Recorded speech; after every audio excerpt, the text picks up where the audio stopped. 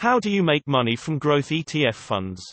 I'm doing some research as I prepare myself to start my long-term 25 to 30 years investment journey. I'm taking notes covering basic terms, fund info, holdings, volatility etc. and preparing my investment portfolio. The linked Investopedia page see below mentions that it's a good strategy to combine value and growth ETFs.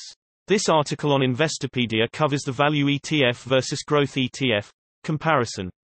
I'm able to understand that value ETFs are providing dividends, which means periodic returns. So far so good.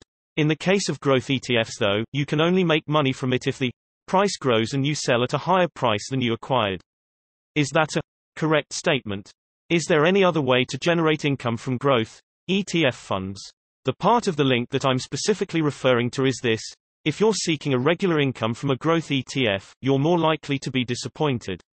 Many growth-oriented companies reinvest available cash back into growing the business instead of paying profits out to shareholders directly.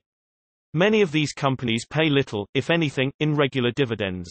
So if there are no dividends for a given growth ETF fund how else can income be generated? You make money from growth ETF funds in exactly the same way you make money from any other investments. You buy them. You hold them. You sell them.